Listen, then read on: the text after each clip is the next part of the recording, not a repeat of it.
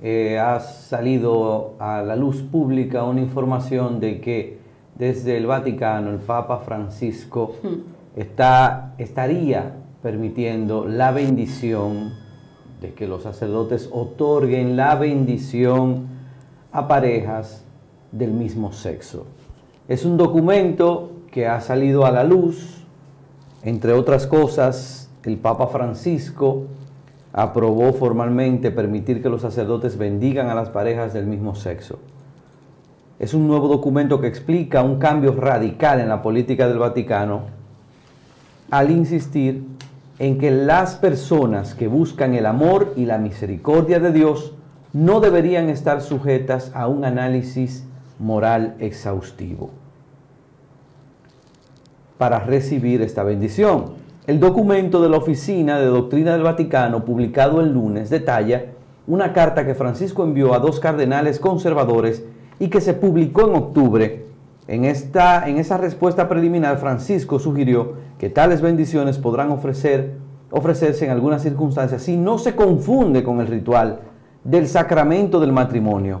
El nuevo documento repite ese razonamiento y lo desarrolla reafirmando que el matrimonio es un sacramento de por vida entre un hombre y una mujer, y subraya que las bendiciones no deben conferirse al mismo tiempo que una unión civil o incluso con la vestimenta y los gestos propios de una boda. Pero establece que las solicitudes de tales bendiciones no deben negarse por completo. El documento ofrece una definición extensa del término bendición en las escrituras para insistir en que las personas que buscan una relación trascendente con Dios y buscan su amor y misericordia no deben estar sujetas a un análisis moral exhaustivo como condición previa para recibirla. Eso es muy profundo lo que tú acabas de decir ahí. Sin embargo, cuando se trata de hablar de este tipo de temas, no es que nosotros estemos de acuerdo. Yo voy con la la pareja tradicional, Alex, porque eso es lo que nos enseñaron y con lo que uno crece. Sin embargo, ahora estamos viviendo en un mundo bastante complejo. ¿Por qué? Porque tenemos amigos que tienen una pareja que es de su mismo sexo, que son homosexuales, que son lesbianas. Sin embargo, tú, tú te das cuenta que son buenas personas, pero tienen esa inclinación por personas del mismo sexo, tienen una relación, también se da el caso de familias que tienen hijos y hasta que a uno no le toca vivir una situación directa, uno no puede juzgar a nadie, Alex. Y por eso nosotros en algún momento hemos tenido una posición un tanto equilibrada con el tema de la homosexualidad y el lesbianismo. Sin embargo, hoy nos, nos impresionamos con, esta, con este anuncio del Papa. Al final, por lo menos refiriéndonos a nuestro país, la, constitución de la República no permite eso aquí en nuestro país. No permite que dos personas del mismo sexo se casen. Eh, si eso sucediera, como sucede en otros países, dice este documento del Papa que no puede estar el sacerdote ahí bendiciendo esa unión civil, porque se puede confundir, ¿verdad? Porque también este documento extenso, según lo que dice, es tratando de que no parezca que se están casando por la iglesia, porque así como la constitución no lo permite, Rosy, por lo menos en nuestro país, así tampoco la iglesia católica permite la unión entre dos personas, la unión sacramental a través del matrimonio, dos personas del mismo sexo. Sin embargo, hay otros países y estados eh, del mundo que se puede ir una persona y, o por ejemplo te puede pedir a ti un hombre o una mujer y allá en ese país o en ese estado casarse que yo sé de mucha gente por lo civil pero no por, por, lo católico. Que yo sé de mucha gente que ha decidido irse fuera del país aquellos que quizás sienten que aquí en República Dominicana todavía tenemos tabúes con respecto a, a las parejas del mismo sexo a las lesbianas homosexuales pero yo, yo voy mucho con el tema del respeto. Sí, y el amor, Rosy, porque al final Dios nos manda a amarnos, ¿verdad? Nos manda a amarnos los unos a los otros. Y si es una relación de pareja, pues mucho más. Y al final eso es lo que se busca. Ahora bien, que la iglesia no lo permita, ni la ley lo permita, eso es otra cosa. Pero si dos personas deciden estar unidas, dos personas del mismo sexo deciden estar unidas, vivir bajo el mismo techo y se aman. Tú sabes que yo tengo un amigo, un amigo que... Si no le hacen daño a nadie, se respetan, como tú dices, se aman, pues... Yo tengo un amigo que recientemente estaba en el país con su pareja, es un hombre, y, y se unió a, su, a, a otra persona del mismo sexo.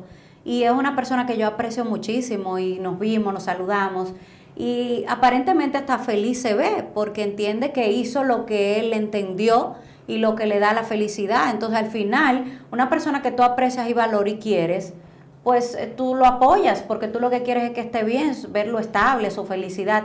Y si eso es lo que le hace feliz, es una, una persona adulta ya y decidió su vida con otro hombre, eh, bueno, bienvenido sea. Así es que yo digo que uno puede ser si se quiere, empático y respetar la decisión del otro. Deben estar algunos católicos votando chipa.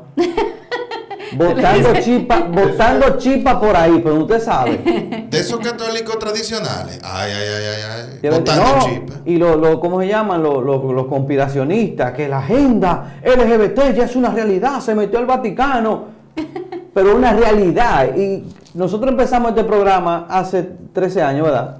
13 sí. años. Y el primer año traímos una psicóloga, traímos un homosexual que ya se estaba construyendo un poco su cuerpo y hablamos abiertamente de eso.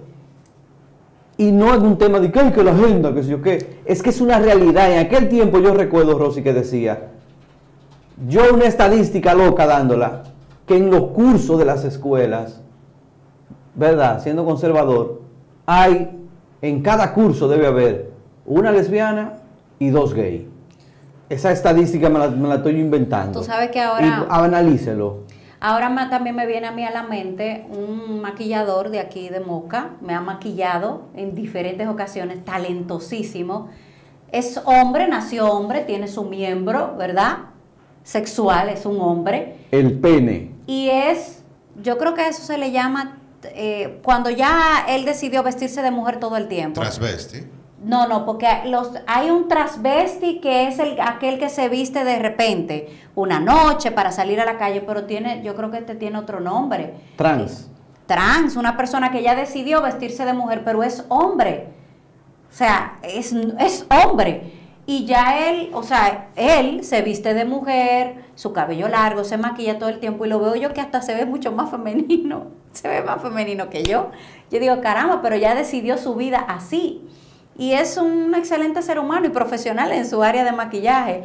Y también es una realidad, Alex. Entonces uno no puede ir tampoco en contra de esa realidad, porque ya existe. Una madre me dice que mi hijo tiene inclinaciones eh, homosexuales, de adolescente, y que, que, se está volviendo loca. Le digo yo, al final tú lo, lo que tienes que tratar es que él sea feliz. feliz. Claro. Sin, Claro, sin él hacerse daño a él, claro que si se va a hacer daño no va a ser feliz, pero bueno, pero hay gente que entiende que la felicidad es hacerse daño, pero bueno, si él es feliz, no le hace daño a nadie, eso es lo que buscamos, señores. Es probable que esa madre, si se pone a renegar de eso, haga que su, que su, que su hijo sea infeliz. Te digo que el tema, es, el tema es complejo porque es una realidad.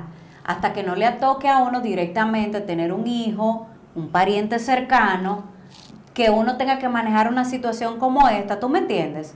Porque yo te estoy dando mi posición, yo voy hombre-mujer, o sea, esa Yo- pareja tradicional, la que nos han enseñado, la que puede procrear, ¿me entiendes? Pero hay una realidad que uno tiene gente cercana que tiene inclinaciones. Cosita la de allí, no voy a decir nombre, de- que es lesbiana, se casó, se mudó con su pareja y la pareja decidió, ellas dos decidieron, mira, vamos a, sin muchas complicaciones, yo quiero tener un hijo contigo, quiero que, quiero que formemos una familia, sale embarazada de, de alguien.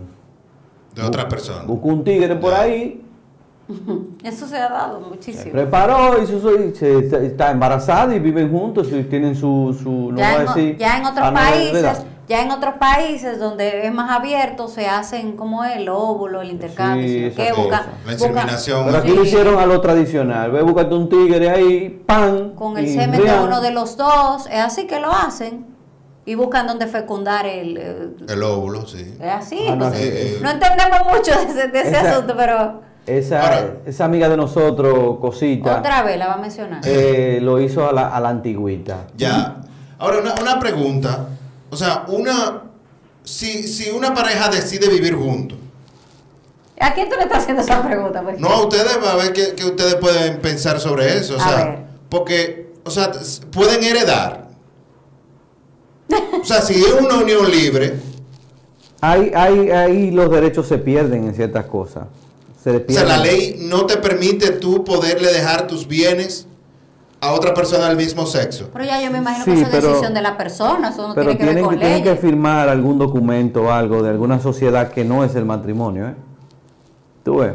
Es, es un poco complejo el tema. Porque no hay cosas que no la que la ley no lo contempla, porque aquí no aquí no se permite el matrimonio entre dos personas, ¿tú ves? Del mismo sexo. El mismo sexo. O sea, Entonces, mira, el momento de, de ir a la ley, la ley no no Es tajante con Mira. eso porque no está en la No, ley. Mira, puede, estoy no viendo puede. un artículo aquí, ¿Qué es lo que busqué en, en acento, en acento RD, en acento.com.do, Dale, ¿qué dice? que dice que la Constitución de la República no prohíbe el matrimonio entre personas del mismo sexo. No la prohíbe. Que- o sea, dice el abogado, se llama Nacet Perdomo, dice que, o sea, no lo dice en ninguna parte. Lo que dice que, que el Estado Dominicano prefiere que sea heterosexual, precisó el académico. Mm. Explicó que la Constitución de la República Dominicana, en su artículo 39, la prohíbe. Prohíbe, no, prohíbe la discriminación y en su artículo 74 establece que la interpretación de la Constitución tiene que ser amplia, ampliado los derechos y no restringiéndolos. Bueno, pero Yo creo que ese abogado será gay. pues ya no sé. Bueno, eh, cambiemos de tema. Ya usted ahí El tema es complejo, ¿eh? hágase una idea usted y tiene su, yo me imagino que cada quien tiene su propia posición con respecto a Porque esto. es muy válida la pregunta, de, porque si hay dos personas que se, del mismo sexo que quieren desear sus bienes al otro, por ejemplo. Es así. Supongo que tendrá que hacer un documento, un testamento, una vaina. Me imagino Pero que no sí. no califica como esposo.